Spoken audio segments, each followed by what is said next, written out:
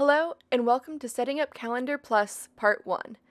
This video is the first in a short series which will demonstrate how to set up and customize Calendar Plus in your Ninox database. In order to proceed with these instructions, you will need your database tokens, which you received in an email after purchasing Calendar Plus.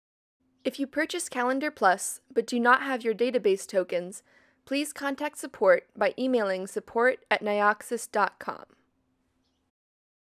To begin setting up Calendar Plus, first download the Calendar Plus template database. The template download can be found right below this video.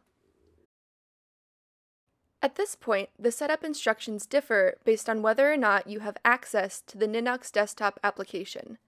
The setup is a bit quicker if you have the desktop application, as it supports table imports. To continue setting up Calendar Plus with the desktop application, watch the video titled Setting up Calendar Plus Part 2 Desktop Application.